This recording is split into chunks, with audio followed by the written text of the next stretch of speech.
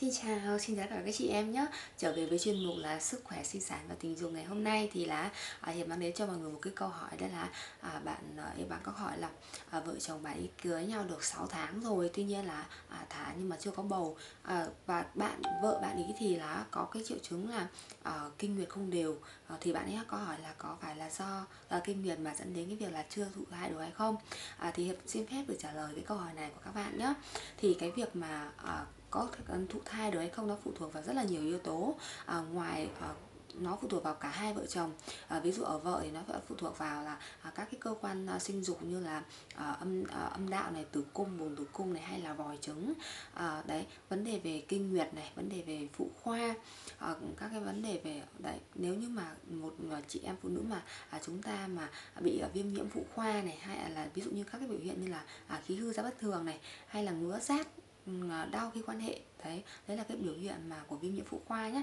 Thứ hai là biểu hiện về rối loạn nội tiết là liên quan đến kinh nguyệt không đều rối loạn kinh à, miệng kinh à, thâm đen quáng cục đấy à, hoặc là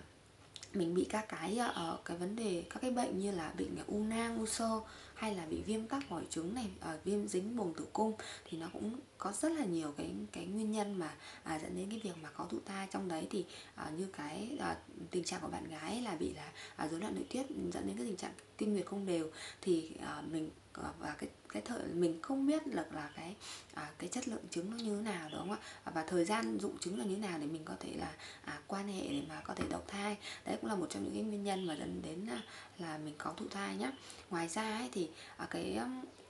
cái việc mà mình mình có có à, cái để tăng cái tỷ lệ đậu thai thì mình cần phải là à, cần phải là cái cái chất lượng tinh trùng của nam giới nó phải cao nữa. À, tinh trùng có khỏe này có chất lượng à, và thì nó mới dễ dàng là bơi vào à, qua ở cổ tử cung để gặp gặp trứng để, bắt mà thai được. À, vì vậy mà à, hiệp khuyên rằng là cả hai vợ chồng đều nên đi khám à, để mình có thể là à, xác định là xem là cái nguyên nhân là do đâu. À, có thể phụ nữ thì đi khám phụ khoa và xét nghiệm là à, các cái à, kiểm tra để xem là mình có bị à, các vấn đề về à, u nang u sơ gì không hay có bị viêm tắc vòi trứng gì không. Đấy, hay hay là xét nghiệm các cái các cái xét nghiệm của nam như là xét nghiệm tinh dịch đồ này à, xét nghiệm à, về à, chất lượng cái tinh trình à, tinh trùng để mình có có các cái à, biện pháp để mình có thể khắc phục và điều trị à, can thiệp kịp thời nhé à, và hiểu hy vọng rằng là à, khi à, các khi các chị em mà à, xem được video này thì các chị em cũng có thể là à, nhận à, cho mình được những cái kiến thức à, nhận biết à, có thể tiếp thu cho mình những cái kiến thức rất là bổ ích để mà à, mình không gặp phải những cái trường hợp đó là à, mình à,